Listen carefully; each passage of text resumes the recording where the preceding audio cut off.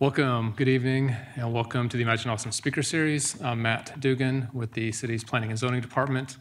Um, the speaker series tonight is Texas Next uh, with Richard Parker. Uh, the speaker series is one of the ways we try and move the Imagine Austin plan forward with um, educational um, outreach and engagement um, on interesting topics. And we bring in thought leaders to talk on things such as um, our core principles for action, which are grow as a compact, connected city, integrate nature into the city, provide past prosperity for all, develop as an affordable and healthy community, sustainably manage our water, energy, and other environmental resources, and think creatively and work together. Um, so talking about people, talking about population, that's one of the foundations for um, planning for the Imagine Austin Comprehensive Plan. Back in 2009, when we kicked off the process, city demographer Ryan Robinson did our population projection and said we were going to add an additional 750,000 people and 300,000 jobs to Austin over the next 30 years. Um, so we're uh, so excited to have Richard here to talk about, about this stuff. Um, I, uh, I found out about Richard with uh, reading some of his articles in the, in the New York Times, and, um, and at the bottom it said, you know, Richard's uh, an, an author and journalist in Central Texas. So I'm like, oh, that's interesting. So started digging around. I'm going to email him. I called him. I emailed again, I called him. he emailed back, said, yeah, it's like, uh, uh, well, uh, I'll talk with you. It sounds, sounds a little bit interesting.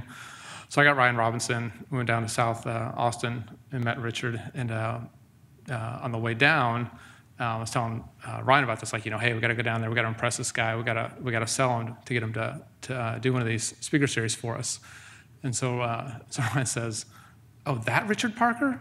It's like, yeah. So he said, how did you get to meet with him? I said, well, I don't know. We're ready to have lunch with him. So he starts getting nervous and. Anyways, had a great lunch, uh, really good conversation. At the end, Richard said, "Sure, well, you know, like you guys, like what you're trying to do. Um, I'd be happy to help you guys out." Um, so with that, here's Richard Parker. Thank you. Thank you. Nice introduction.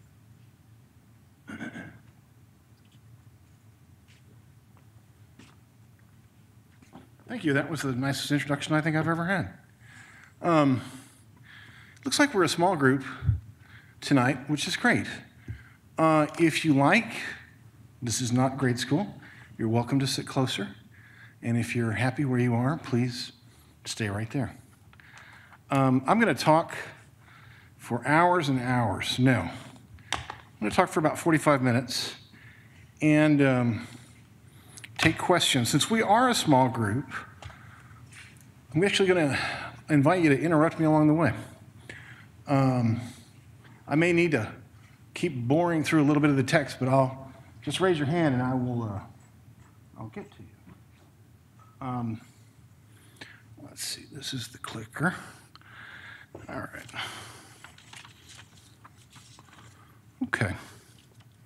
Well, first, I want to thank Matt uh, for the introduction, Ryan Robinson, who he mentioned, and uh, Kathleen, who's right there as well, for having me here. Obviously, I want to thank the city of Austin and you guys for taking time uh, on what is probably a busy evening for you. like any Texan, I love nothing more than to talk about, yes, Texas. And today I'd like to present a distinct view of our history, our present, and what I think is our near future. Um, some of you may find it a little controversial. Some of you have already figured this out, but it's all food for thought, and that's all to the good. Uh, by way of introduction, uh, I have been a journalist for over 30 years now. Um, I write a weekly column for the Dallas Morning News. I write for the New York Times, as was mentioned, and a bunch of other Washington based publications like Politico and The Atlantic. I've written about nearly everything after 30 years, but these days I mostly just write about Texas. Let's see if I can get the clicker. There we go.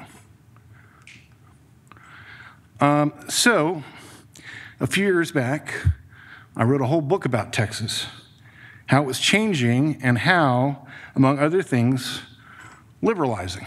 And what this meant, not just for Texas, there we go, but also for the country. Now, at the time, I didn't get that kind of reception. I mostly got questions like, Are you crazy? Um, and no, I'm not, because now I think with a little bit of the passage of time and some evidence, the trends that I talked about in that book are coming to bear some fruit. Um,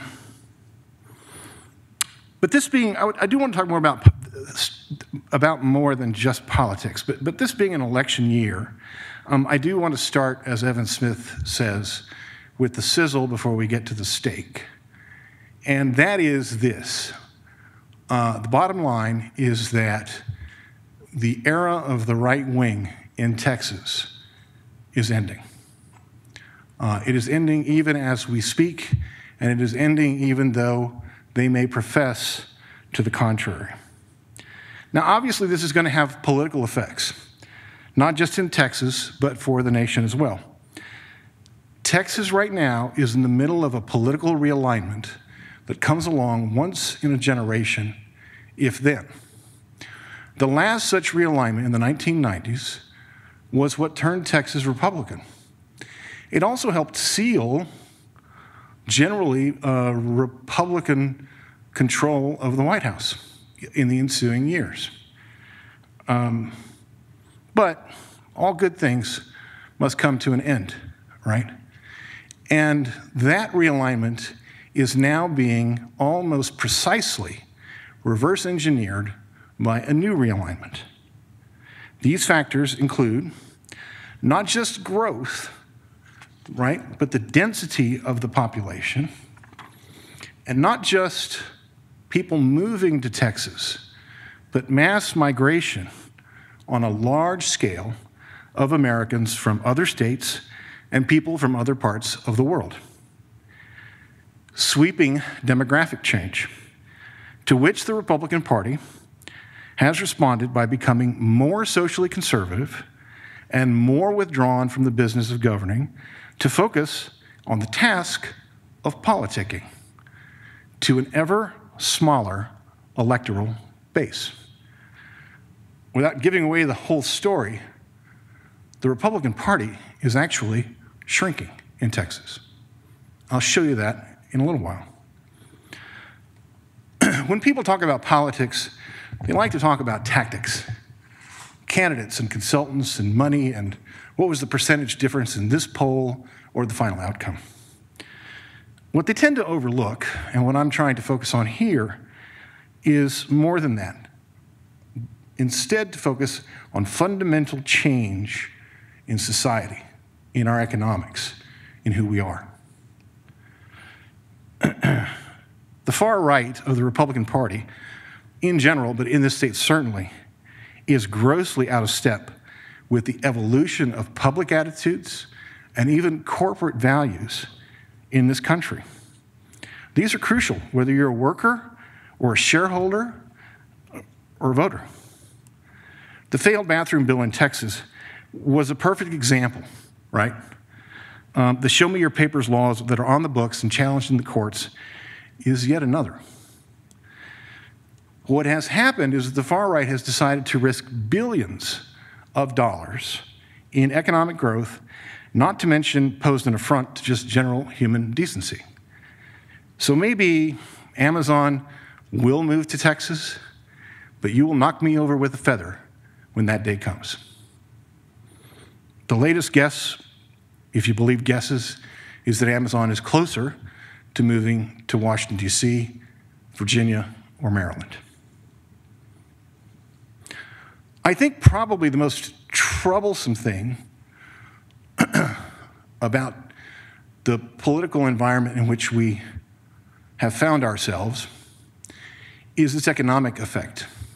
People can have pretty sharp elbowed differences about various policies immigration, gun control, uh, you name it, that's fine where everybody tends to agree, particularly in Texas, is on the importance of jobs.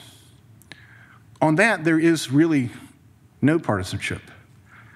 Um, and because of that, we've never seen before at a national level, level, let alone in Texas, this kind of daylight between big business and the ruling party, for lack of a better word. But business is not buying what the right wing is selling. The net effect of all this dizzying change population growth, economic boom, diversification, dense urbanization is all coming home to roost. In political terms, it looks like this. In less than 10 years, according to data from Gallup, Texans have become far less conservative than they used to be. Texas is no longer reliably red, but was classified just last week as competitively purple. And among residents today, uh, not registered voters, mind you, but residents, Republicans enjoy precisely a three point lead in preference over Democrats. Now, think about that. Three points is all that separates them. That was unthinkable when I wrote that book four years ago. so, time is running out. And I don't think that no matter how fast they dance, the far right of the Republican Party cannot dance fast enough at this point to keep up with change. Their jig, I think, is up. But let's step back a second and start with the story of Texas. How many of you uh, grew up in Texas? Raise your hands. Okay. How many of you took Texas history in seventh grade? Okay. So you know about your Alamos and your War for Independence and all that kind of stuff. All right. Um, there are kind of two views about Texas. Um, one was proffered by a man in San Antonio, a great writer, named T.R. Fehrenbach. Fehrenbach wrote his gargantuan book uh, in the 60s. It was a runaway New York Times bestseller about the history of Texas. And it was truly an epic story, a great piece of um, journalism as history. He was a journalist, he wasn't a professional historian. Um, and a great piece of writing as well. Um, in essence, though, he made this argument that the story of Texas was really the story of the land. You know, when the first Americans arrived in the early 19th century, uh, Texas was a harsh, sparsely populated place about the size of France, where a rough natural law order prevailed and human existence was tenuous and solitary. This led in the mid 20th century to a logical conclusion. The land was what shaped the rugged individualism of Texas, and by extension, it led to a naturally conservative philosophical outlook. But there was another man. Who here knows who J. Frank Dobie was? Okay. There's even a building named for him not far from here, but most people really don't know who he is anymore. Um, he too was a journalist. He too had been a soldier. Um, and he was a folklorist. He was probably the greatest folklorist in the history of Texas. Uh, he relished, too, in the tales of the land, retelling the bygone years of the great ranching era of the late 19th century. But over the course of his years, Dobie realized, too, that his Texas was changing. It was industrializing and it was urbanizing. And while nobody loved Texas or romanticized it more than Dobie, he reached a very different conclusion than Fehrenbach eventually would. And this is the quote. Now, for those of you who don't know, the Texians was a very old word which has to do with the original American settlers coming from the South uh, around the time of independence from Mexico and shortly thereafter. And so what he saw was a cycle of history in which new arrivals would come, benefit, and then change the place. And then they in turn would be followed by another set of new arrivals who would come, benefit, and change the place. So, about 50 years after he died, I was sitting around my house and considering the stories of my time that would be worthy of a book. And I realized that I was right in the middle of the biggest story of my whole life. And that was the change that was sweeping Texas at the time. I think Dobie ultimately was right. He had a more dynamic view of history um, than Fehrenbach. Fehrenbach was probably the better writer, frankly, but, but Dobie's view was more fluid. Um, the real story of Texas was not the land, it was a story of a people, a people on the move. So let me tell you a story about people on the move. So, 15,000 years ago, nobody lived in the Americas. There were no humans. At that time, as evidenced by that map,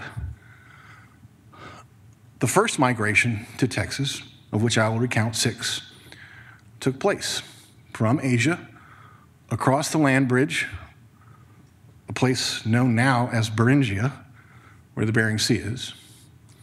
And there, it is increasingly believed by anthropologists that collections of people from Asia settled briefly.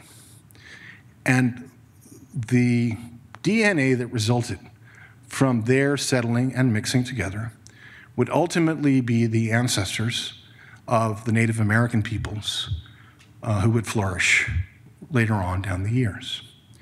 But if you follow those little red arrows a little further south, it's clear that these people were on the move. Why? Anyone? Ice. They were trying to get away from the ice, right? So, after about 3,000 years in Beringia, they headed south. They settled in places like the Yucatan Peninsula, Clovis, New Mexico, the Permian Basin of Texas, and a place called Buttermilk Creek near present day Waco. One reason that Buttermilk Creek is interesting was the abundance of chert. Uh, chert was a stone from which uh, spearheads and early arrowheads could be ca- carved. But they had a clever design. If you look at them, you'll see that they're, I'll point this way, they're fluted, right? And the point was that design channeled the blood from a wounded bison, much larger than today's bison, for instance, outward. So the more the bison ran, the more it bled. The last of these people arrived about 7,000 years ago. The ice bridge sank as the climate changed. And these immigrants then settled in warmer places Texas, New Mexico, Mexico, later becoming the Caddoan and the Comanche and others. Frequently, they would share similar languages, but they developed their own cultures. So we can fast forward to the arrival of the first Europeans. We had the journey of Cabeza de Vaca across the southwest, the expeditions of Coronado, French colonization, which really didn't take hold much outside of Louisiana. In 1591, Juan de Oñate journeyed to New Mexico and set up one of the first permanent Spanish settlements there. The missionaries followed into Texas in the 1700s. It was a fairly light European footprint, though. And unfortunately for the Spaniards, their time was running out. And the reason was by 1830, after Mexican independence, 30,000 Americans, mostly from the American South, had settled Texas and outnumbered all of the Mexicans and Native Americans combined. As we all know, this led to revolution, an independent republic, statehood, and a subsequent war with Mexico. What most people don't think about, though, is the consequences did not end there. Texas was a slave state. It played a very prominent role in tipping uh, the country into the Civil War, upsetting the balance between free and slave states. Here was the unintended consequence of mass migration. On the one hand, the intended consequence was to gain new territory that was accomplished. The unintended consequence was to trigger the country's most devastating conflict. So that story of intended and unintended consequences, all rooted in mass migration, has now played itself out six times in our history. When large amounts of people arrive in Texas, things start to change. The subsequent change isn't always disastrous or bad, but it is always big. After the Civil War and the demise of plantation agriculture, Texas was just another poor southern farm state. But we had a lot of cows, vast herds of wild longhorns that were so numerous that people actually hunted them from horseback because they were pests. So these could be rounded up, driven north along the Chisholm Trail by cowboys, and sold to northern markets where the population was growing. The cowboy, of course, became an icon of American culture. But his era was very short lived. Why? Because the open spaces bred their own demise. After a while, you had such success driving cattle, cowboys weren't going to do the trick. You needed railroads, right? Less noticed but no less important, was the migration of Mexicans to Texas. That's a subject I won't deal with in great detail here because they don't deal with international migration. It's a very important story, but you all would have to get your sleeping bags out to hear the rest of that. So, we had the railroads. Well, the country was industrializing, and what did it need? Oil. So, in 1901, when Spindletop struck oil, Texas changed again, right? But Texas needed to not just be a source for exporting oil to the rest of the country, it needed to industrialize. By World War II, there were 32 military bases in Texas and far more factories that were pumping out everything from Jeeps to, well, not Jeeps, but vehicles to tanks to aircraft. Um, well, if you were going to do that, and Southerners were flocking to Texas for work. Well, they needed some place to live. Well, they couldn't live on the farm, so they had to start living in the cities.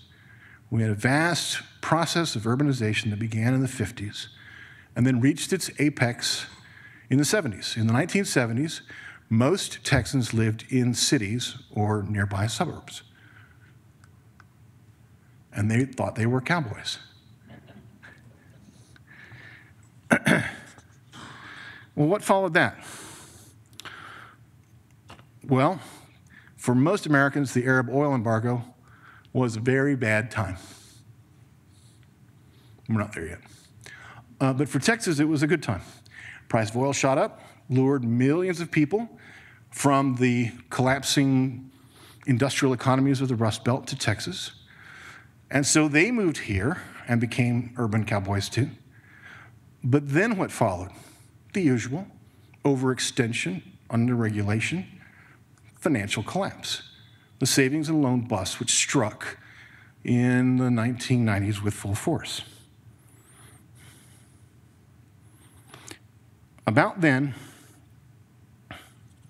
the migration from the Rust Belt pretty much ceased. It stopped. It stopped making sense to keep coming to Texas. Uh, right around then, in the spring of 1992, I was living in Washington, D.C., working as a reporter, and I arrived in Austin to report on the presidential contest of that year. I made the rounds interviewing various people, including a largely unknown consultant named Karl Rove, and took a stroll down Congress Avenue.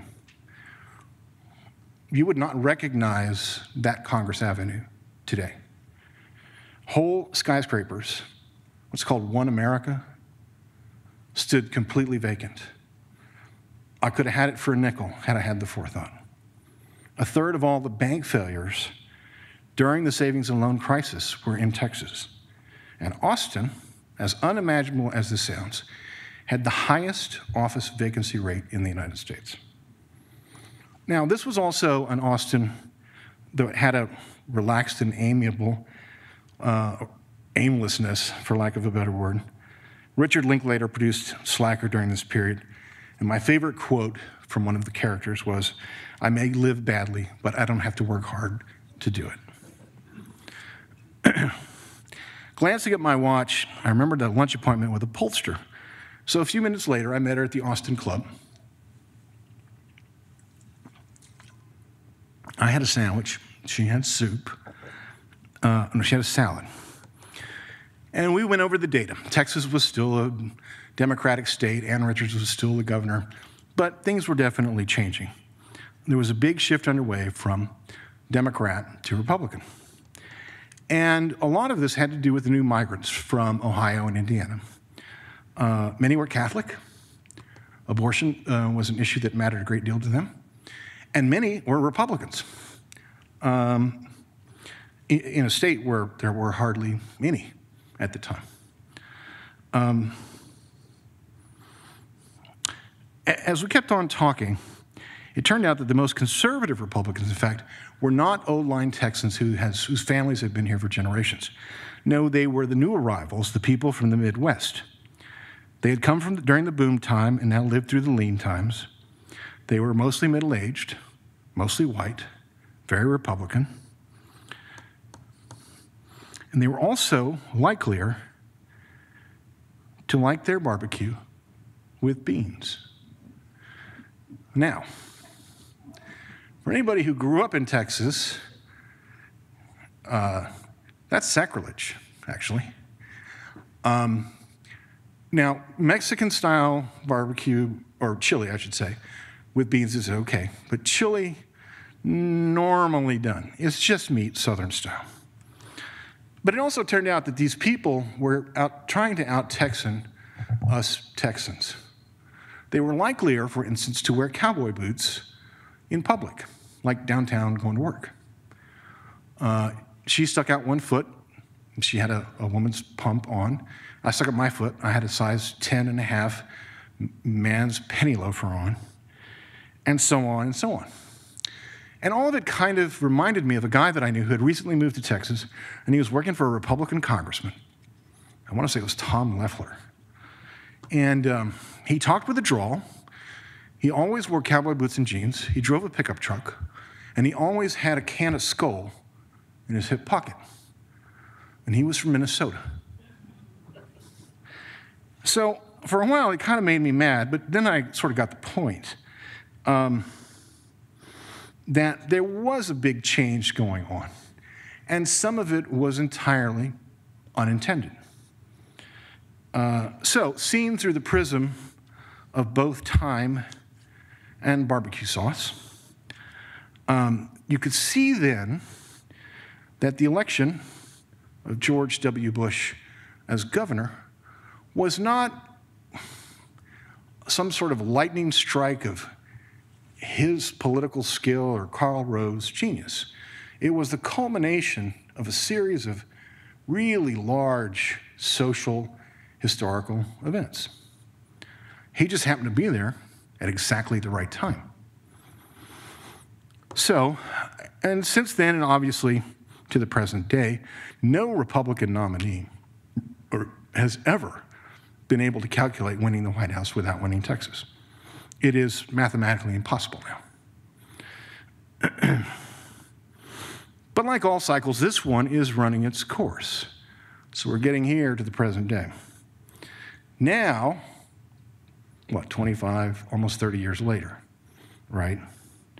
The demographic and social and political realities of the fifth migration are being precisely reversed by the sixth migration, the people I call the New Texans. We'll skip this. We already know all this.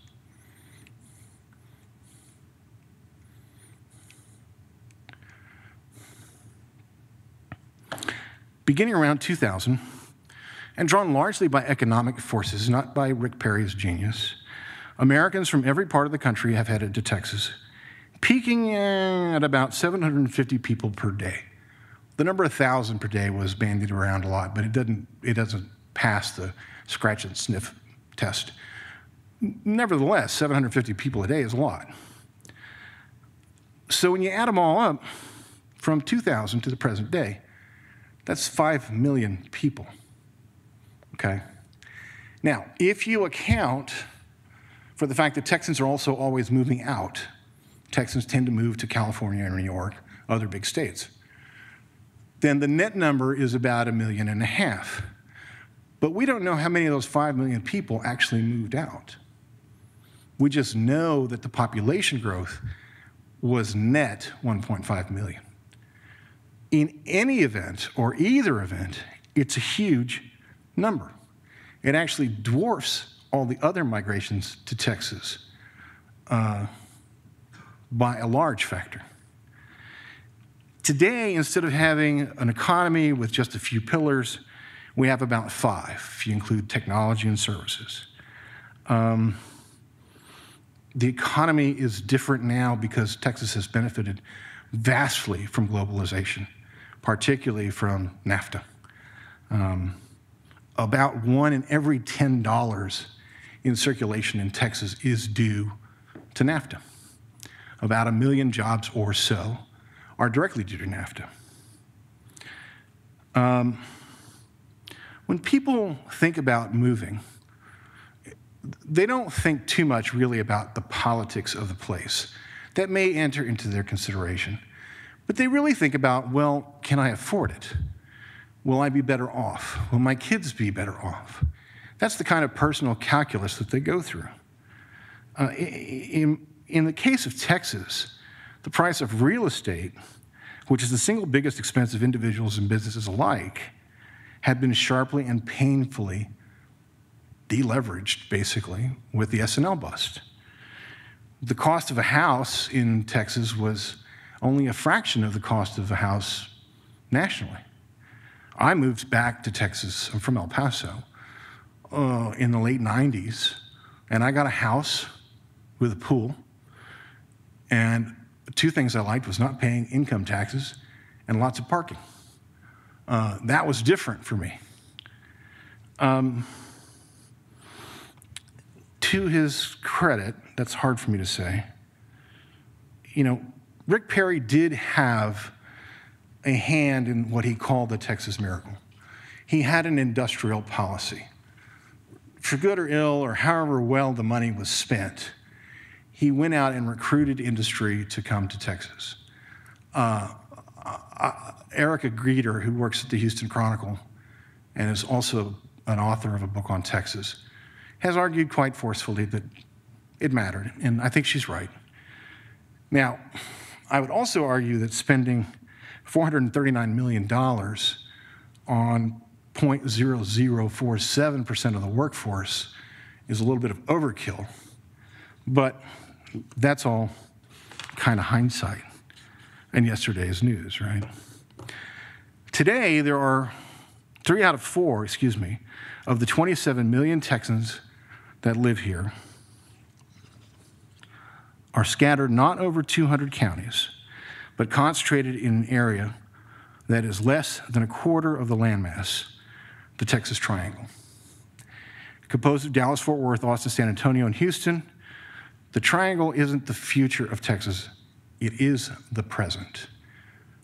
Soon, 80% of the population will live in this little patch of earth to compare it to some place, if you've been to Southern California recently, you understand how densely populated the triangle will be in 30 years.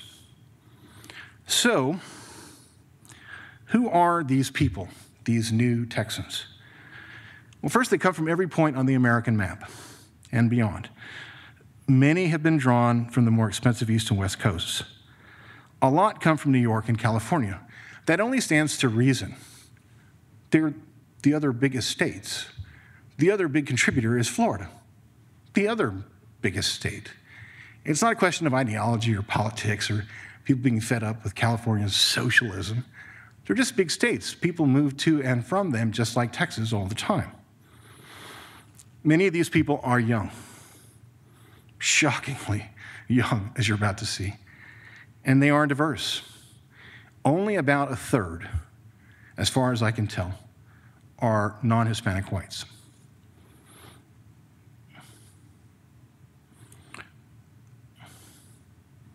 So let's talk about youth. On average, the new Texan is not just overwhelming in his or, her numbers, but in their youth. This is important for a, a couple of reasons.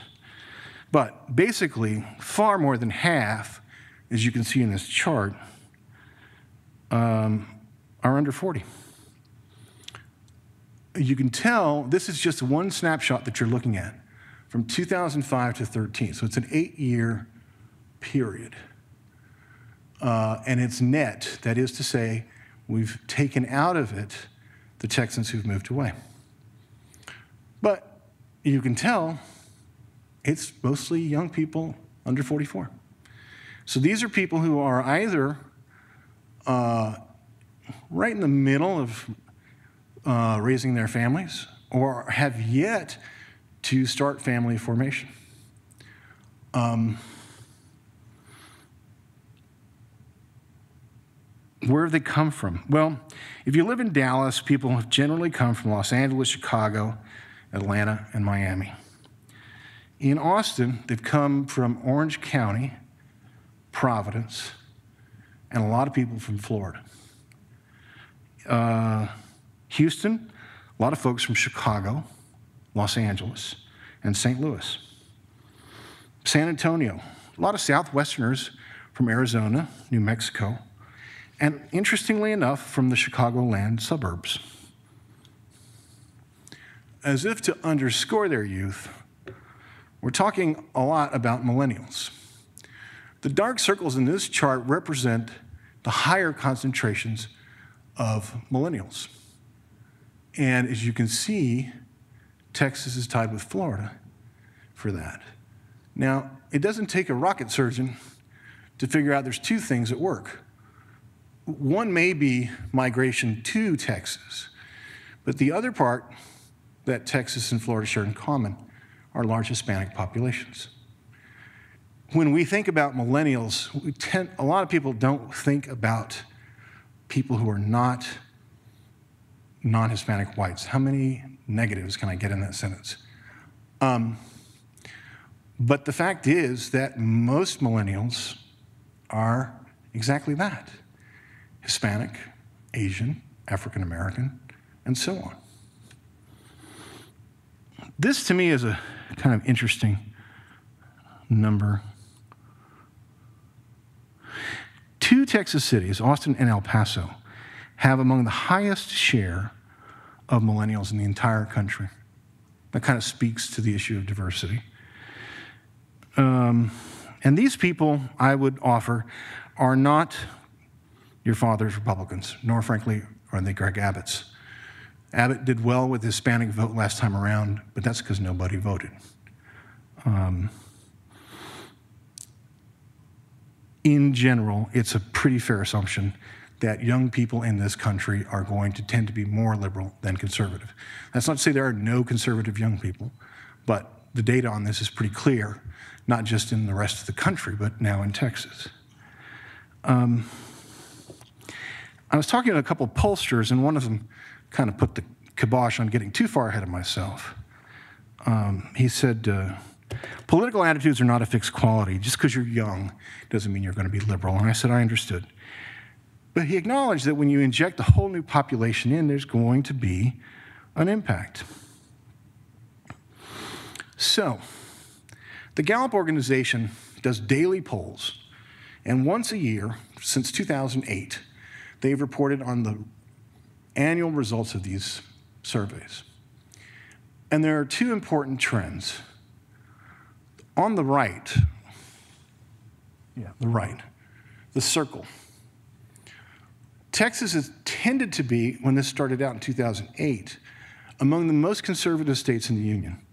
25% more conservative than the national average. That has now dropped a full 15 points. Okay?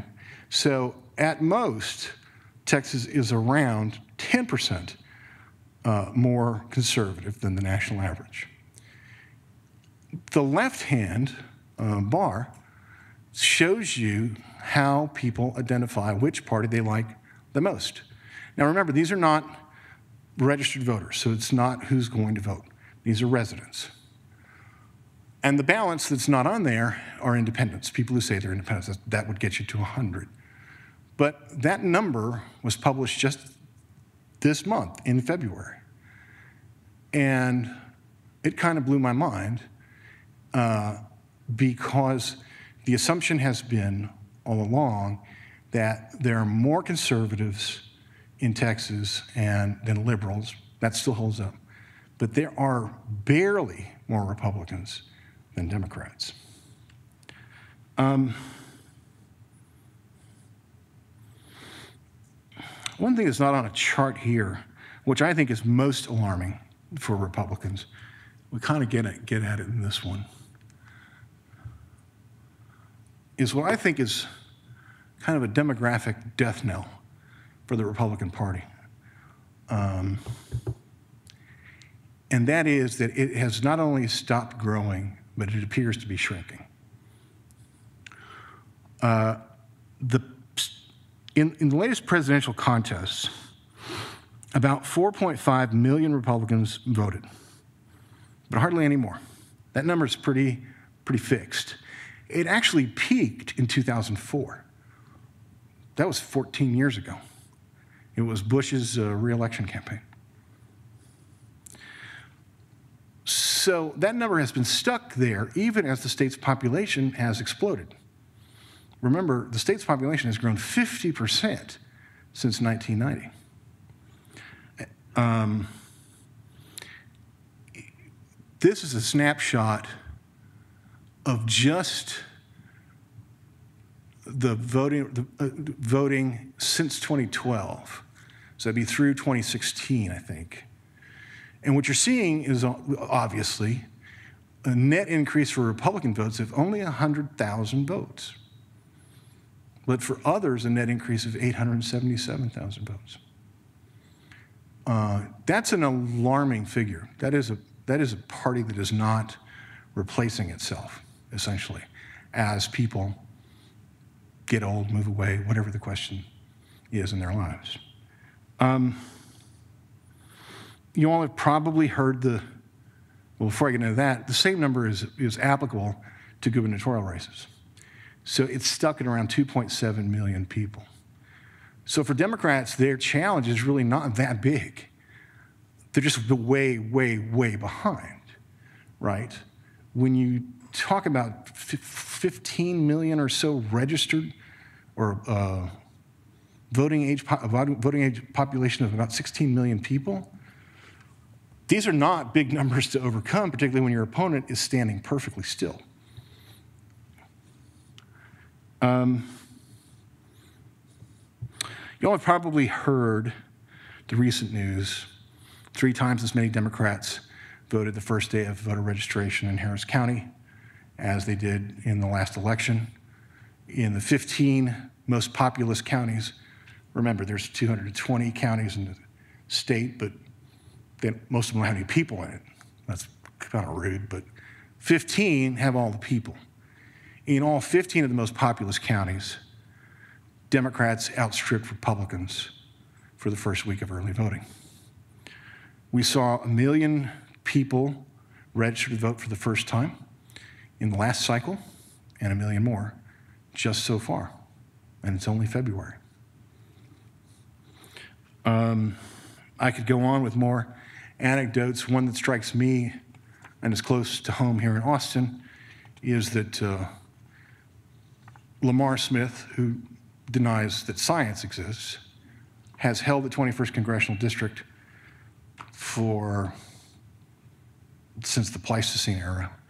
My ex-wife used to work for him. Um, and uh, the Cook Political Report, which is a very influential little publication published by a renowned pollster in DC, has downgraded his district from um, safely Republican to just leans Republican at this point. And it's one of the most gerrymandered districts in the country. Um, so, uh, what does all this mean? Well, I don't think that Democrats should go home and start counting their majorities just yet. Uh, in the end, politics is about tactics. You know, when push comes to shove between primary day and election day, it is about turnout and money and advertising and consultants and blunders and capitalizing on other people's blunders and all that kind of stuff. Um, and I, I'm not rooting for Texas to turn blue. I'm not a professional Democrat. I'm a professional journalist. I just want to see a good fight. Um, I am rooting for a competitive two party system. Um, one party monopolies become brittle and corrupt and obsessed with nothing but their own power, and they stop solving problems. Um, and I want to get into some of that here. Um, I'd like to actually thank uh, Ryan, who's not here with us tonight, who inspired this chart.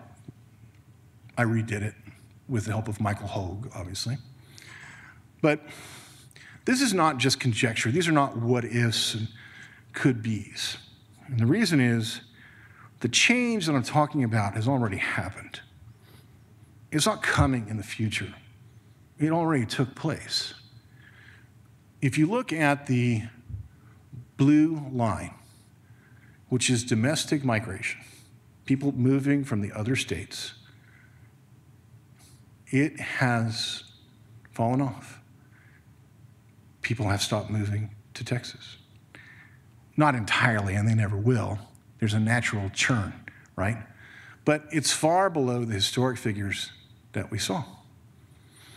Now, there's probably a real simple reason for it, and it's called money. Texas is not cheap anymore. Real estate has become on par in terms of it, its expense with the rest of the country. No big savings. We also have lower wages than other states, and nobody in their right mind moves someplace to make less money and pay more for a house. Um, that's just not part of the calculation. Um, so the things that I've talked about in terms of who are these new Texans and what are their attitudes and what are they going to do, it's already happening. It's not going to happen in 2020 or, or 2024. It's underway now. Now, it will manifest itself over time. People always ask me, well, when? Well, I don't know. Um, Matthew Dowd, who used to work for George Bush, uh, had the best guess of anybody, I think. He said sometime between 2016, no, 2014, he said, and 2020. That seems about right. Uh, Jim Henson, who is a pollster at the University of Texas, and I talked the other day, and he said that he thinks the Democrats are going to have a pretty fair year this year. Well, what does that mean? Well, he thinks they'll win some races. Well, that's start, I guess, right? Um, but you have to have experience winning races, a few small ones, to start winning the big ones. You can't just win the big one overnight. That, that doesn't happen. Um, so I think he's right. And there may be more in the wind than that. Um, uh, Beto O'Rourke is a popular candidate, but the most important part of that U.S. Senate race to me is how really unpopular Ted Cruz is. His unfavorable ratings are through the roof. Uh, I don't know that O'Rourke can overcome the power of the incumbency, but that's a real anchor around um, Cruz's candidacy. That said, the next big thing is already underway, and that's the arrival of the people I call the next Texans. And those are the people in purple. Those are people who have come from other parts of the world. Now, often people think, well, they, they, they came from Mexico. No, they didn't come from Mexico. Mexican net migration to the United States is zero or negative. Um, yes, there's a small amount of unauthorized immigration that takes place, about one tenth the level of what it was in 2000. Um, but we have lots of people who are coming uh, legally from Latin America, but also from Africa and from Asia. Uh, China, in particular, um, is a great source of immigrants to the United States. And if you go to Houston, you'll see that Houston has become an international city. It publishes its official documents in eight different languages. There are about 100 dialects and about as many consulates that are there. So these people will take a while to sort of get into the system and to either become citizens or begin flexing their political muscle. But it took a while for the people coming from other states to do that too. They didn't just show up in 2014 and hand the keys to the governor's mansion to Wendy Davis. That's not the way it works. People have to get their feet under them. Now, part of them getting their feet under them, and mercifully, if there is a God, I'm near the end, so don't worry. Um, politics is more than a parlor game, it's about real things. Uh, the problem with professional political watchers and players is they treat it like a game. And it isn't. Um, its, its impacts are felt on where you live, how you live, how you make a living, and what future there is for your kids, should you have any, or your favorite pet. So, Rick Perry used to talk a big game about Texas number one, and we were recession proof and all that kind of stuff excuse me, that, that, that aside, um, Greg Abbott, by comparison, has shown absolutely no interest in economics at all. I don't know it's because he's a lawyer or he would rather just not talk about it. Because in the last year, for the first time in years, Texas tumbled out of the top two most desirable states for business in CNBC's annual survey of executives nationwide. Number one, that low tax, no regulation state, Washington State. Hmm. Governing magazine ranked Texas 21st.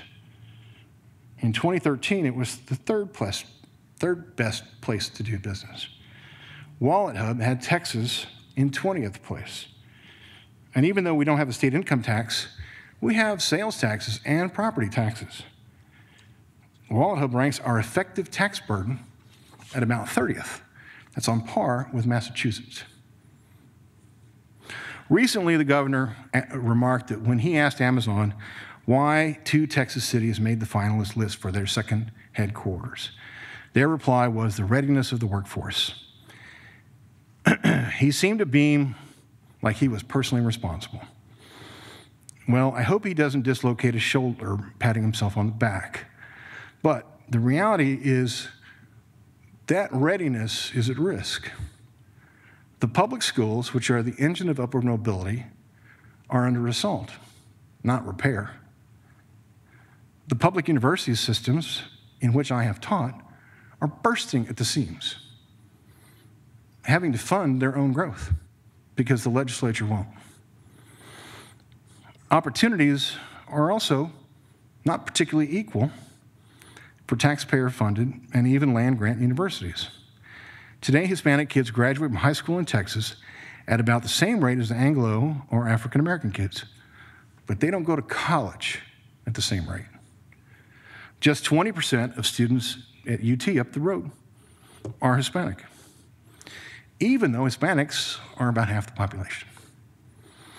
This is not a question of diversity for the sake of diversity. Um, you mention these things, and a right wing Republican will say, well, that's just political correctness. No. The very economy of Texas hangs in the balance. A college degree can mean the difference in a person's income by as much as 100% over their working life. We are risking, as a result, creating a new majority of second class citizens with minimal education and minimal earning power, unable to sustain a booming consumer economy, and unable to maintain a tax base. And Steve Murdock, who was the Republican appointee to the Census Bureau and the state's demographer, once said Texas could easily slide into the jaws of, quote, mass poverty unless we solve this problem. So think about that mass poverty. I doubt that Amazon is going to be looking to relocate in the midst of mass poverty. Um, but I doubt that business will want to stay or relocate to places where political leaders have given serious consideration and are doing something about things like climate change, globalization, and immigration. The stakes could not be higher. Uh, the right wing loves to talk about how we're number one. Texas is number one, America's number one. Okay, well, if the Texas economy falters, the United States becomes number two in size of economy in the world versus China. China will become number one. So,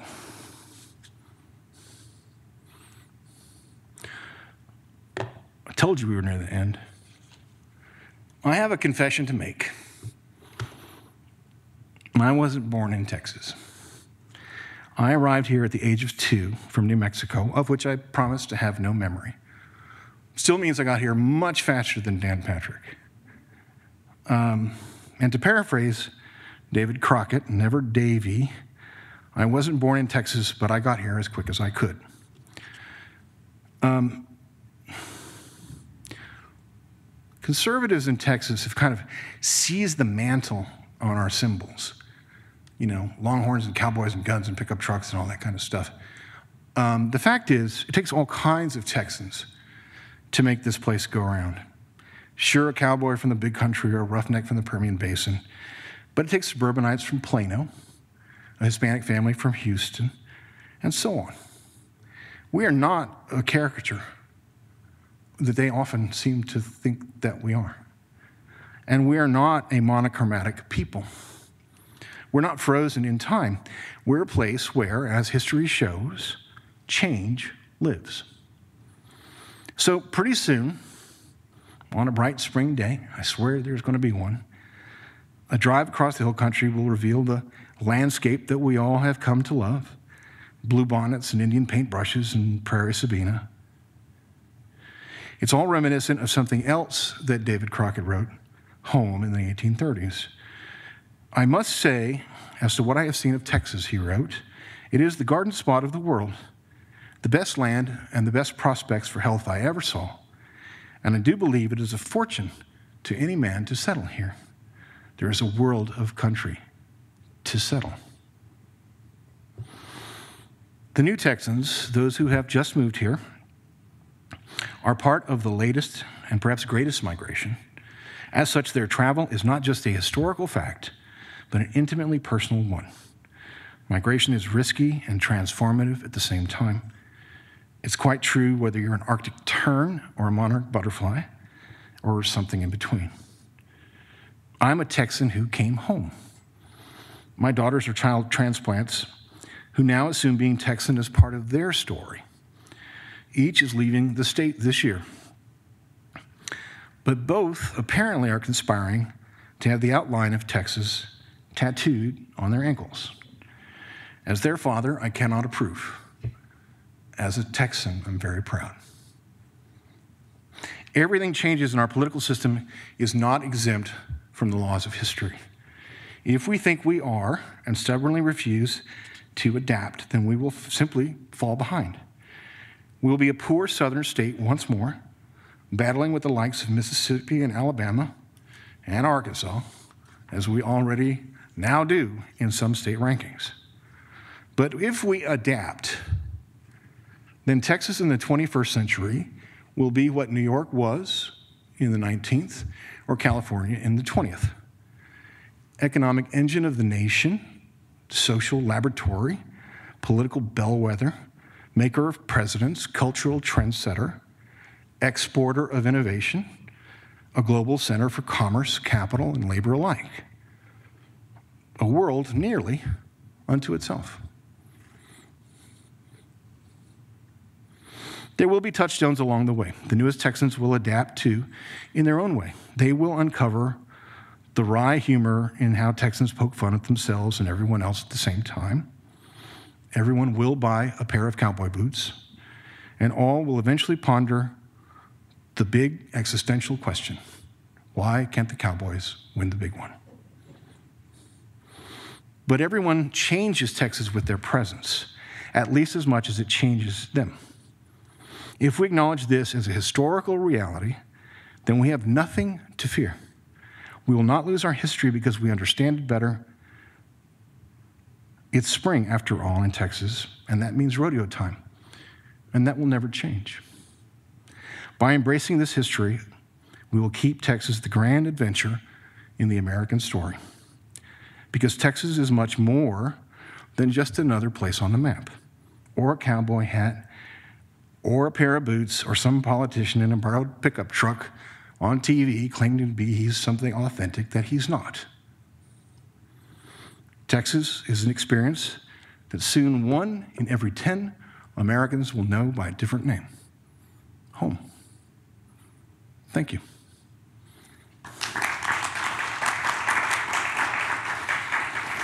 With that, I'm happy to take questions or comments. That will now be accepting uh, questions for Richard. Uh, When I, that please raise your hand, and you can ask one question, and then I'll go on to the next person. Does anybody have any questions of Richard? There we go.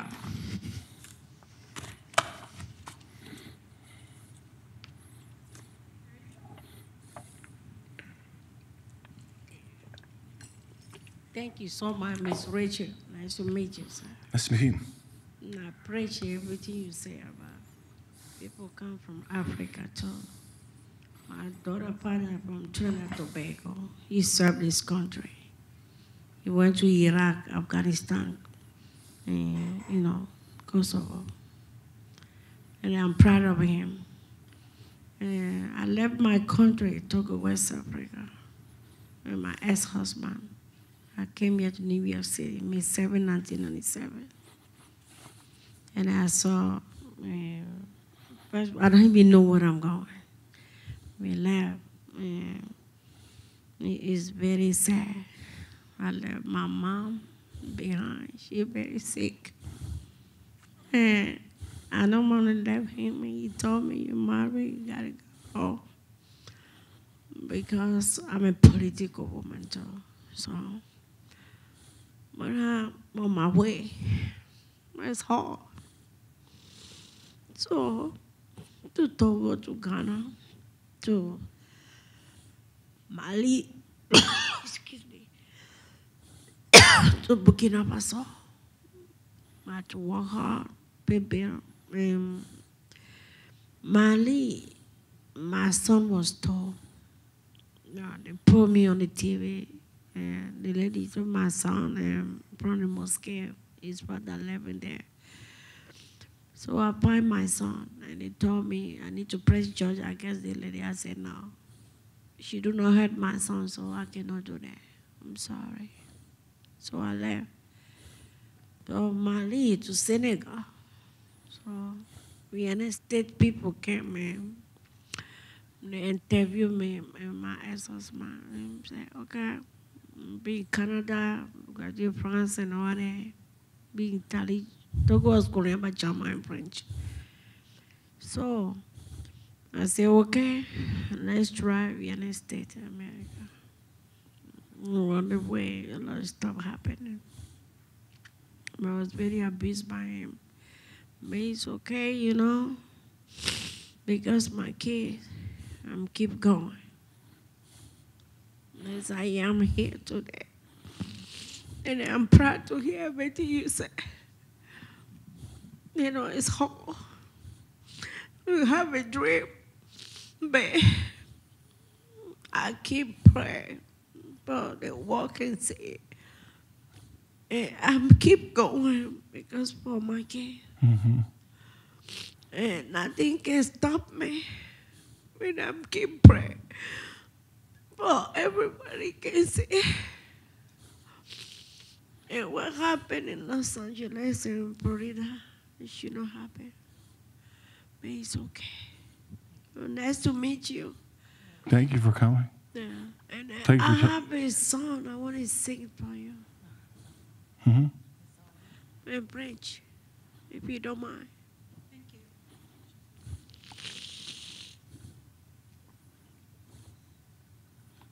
Allez-vous-en sur les places et sur les pavés.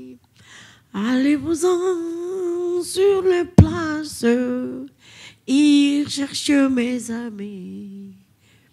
Tous les enfants de lumière vous, qui vivent dans la nuit. Tous les enfants de mon père séparés de lui. Allez-vous-en sur les places et soyez mes témoins chaque jour.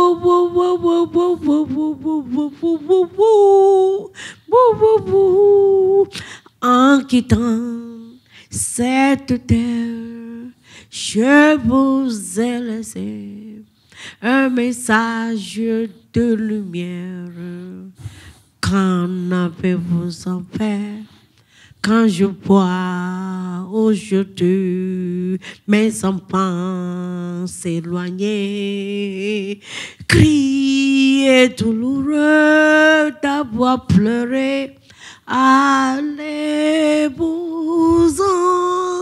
sur les places, bou, bou, bou, et sur les pavis, allez-vous-en sur les places, et cherche mes amis, tous les enfants de lumière ou, ou, ou, qui vivent dans la nuit, tous les enfants de mon père séparés de lui, allez-vous-en sur les places et soyez témoins chaque jour, chaque jour. Thank you, sir. Thank you.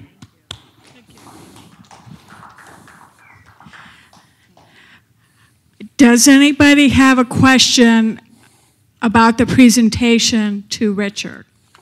Thank you. Can you expand a little bit, kind of, on how you see this change unfolding? Um, we kind of, I'm, I'm trying to weave together some of these themes. We've got, as you mentioned, uh, sort of the, these gerrymandered districts that have a massive impact on elections. We're coming up on a census where we won't be likely, even if there are some uh, seats that get flipped, that probably that balance of power wouldn't be sub- substantial enough to really undo some of that radical gerrymandering. Lay that against what you're talking about in terms of uh, sort of the defunding or the inadequate funding for our institutions and sort of that, that social change that results from that, along with the fact that the Texas government is, we have these massive looming budget shortfalls in 19 and 21 that the current, it, uh, the folks aren't really interested in solving. So I'm trying to, I really appreciate all the things that you're laying out, but how do you actually see this potentially unfolding in, say, the next five years? Well, I, I think that you've asked all the right questions. I mean, um, there is only one solution, and uh, that is a change of uh, political representation and leadership, and that's kind of it. Um, I get classified as a liberal columnist. I kind of chafe at that a little bit because um, I guess I'm more liberal than a social conservative, but I used to be a Pentagon reporter, and I had a bumper sticker in my cubicle that said Americans love to bomb Iraq anytime for any reason. So uh, my politics are not quite as that clear cut. That said, um, the uh, the only solution is to uh, is a wholesale change in government. That's it. There are no incremental solutions because if you have the same political leadership that draws, say, congressional districts after the next census is a good point. You're going to get similar results. They're just going to wind up in court again. But these guys aren't afraid of going to court. Everything they do winds up in court. That is not an issue. In fact, th- there are some issues they know are never going to succeed and are going to be killed in court, but they're going to do it anyway because it buys time. Um, so there is no other solution. And frankly, given that there is not a single important social headwind blowing in the Republicans' favor right now, there is, it is, it would be unforgivable for the Democratic Party in Texas not to put on a far better showing. Just unforgivable. Now, I understand the advantages of the incumbency, given, okay? Uh, but you've got everything working against the Republican Party at this point, except for one thing they're in office. Um, now, are there fundraising advantages to that? Sure. Is that the mother's milk of politics? You bet. But there's a giant fissure that's opened up even when it comes to fundraising. The far right is not raising their money from business anymore. They're raising them from super far right social conservatives who are legislating their religious agenda. Um, so uh, there, there's nothing that is, that is really working the Republicans' way right now. Nothing. Other than the fact that they won the last cycle. Uh, so that's a simplistic answer to a complicated question. But I think without a wholesale change, it won't matter. Would that, in the face of apathy and all of those considerations, would that happen before economic collapse rises the crisis? Well, I tend to believe that people are pretty good problem solvers. So I tend to believe that the answer is probably yes. Um, if you look at other conservative, and I he- hesitate to use the word conservative when I'm talking about the far right because they're not conservatives. Um, but when you look at what Kansas attempted to do, right, with their fiscal policy, it, and budgetary policy, it was a disaster. And it turned around on a dime because of it. You know, I think Donald Trump can fool 37.9% of the people 100% of the time. That's a fact. But the rest of us are pretty much caught on here. And uh, I find anecdotally plenty of Republicans who are pretty freaked out by um, the likes of the leadership of their own party. Um, but, uh, you know, I can't do the Democrats' work for them. They have to get it together, and uh, they can ride the anti Trump tailwind this year. It's enough, it'll work. Um, but they're going to have to get it together with candidates and messages for the coming cycle. Uh, They've already blown one office, in my opinion, and that's the governor's office. They tried to get Julian Castro to run, and he didn't because he wants to be president. Well, that to me, this is a personal opinion, automatically disqualifies him from being president because the fight was here, it was this year, and it was now. Um, but that's, that's a self inflicted wound.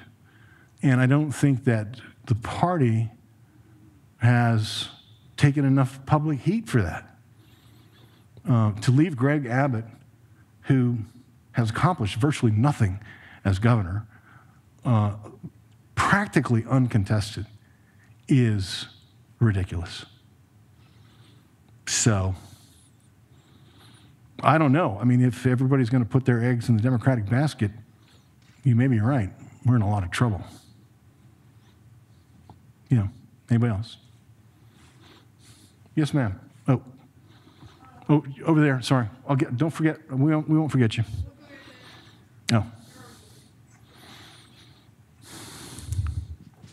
I'll give about 10 more minutes. Okay. I was just curious, um, like, how, how much of a factor is the gerrymandering in slowing us down from becoming a purple state? Oh, that and voter suppression, like the voter ID law. I think the voter ID law is probably a bigger factor, statistically speaking. Um, Abbott, when he was Attorney General, tried to defend the voter ID law, but in his evidence submitted to the court, acknowledged that there were 800,000 people who were effectively disenfranchised from voting. Well, that's almost a million people, right? And they were predominantly African Americans and Hispanics and elderly and college students, the majority of which are not going to vote Republican. Um, so, um, in terms of the gerrymandering, I am not enough of a mathematician to speak particularly intelligently um, to that, but it, it's a. I'll put it this way: there are no states that I know of in which a city as large as Austin has no home congressman. None. Um, so you're disenfranchising a million people, basically. That's a big number. Yeah. Sir. Um, assuming that uh, state legislature and the governor and statewide races remain in Republican hands and the big cities remain in Democrats' hands, do you foresee any less antagonistic relationship between those the cities, the big cities, Dallas, Austin, Houston? No, it will only grow. The cities are all where all the economic action is, and uh, if you take those sort of 15 most populous counties, well, they're all basically wrapped around the four or five biggest cities, right?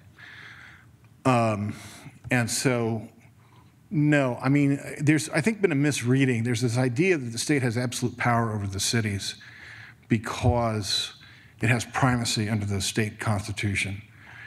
And the, the state created the counties, and correct me if, if I'm wrong here, Matt, but the cities were granted, well, under certain conditions, which was most, cities were granted home rule, which was that they could do their own thing as long as it didn't violate state law.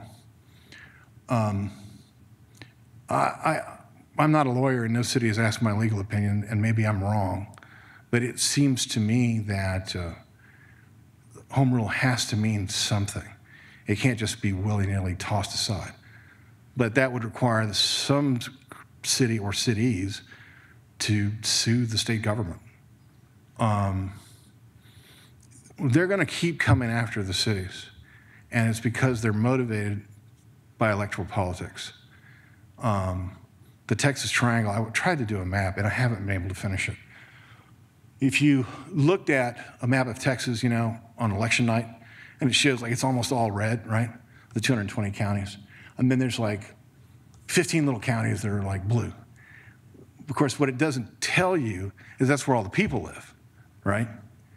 So if you actually did a map based on population, it would look very different.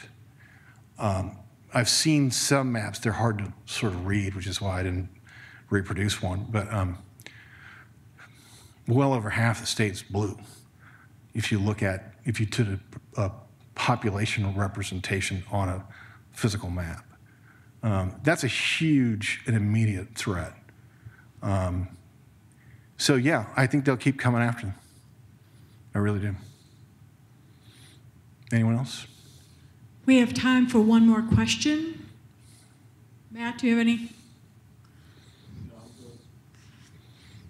Thank you all very much. Well, this concludes our Imagine Austin Speaker Series. Thank you very much, Richard. Let's give, I'll give a big round of applause Thank for you. Richard.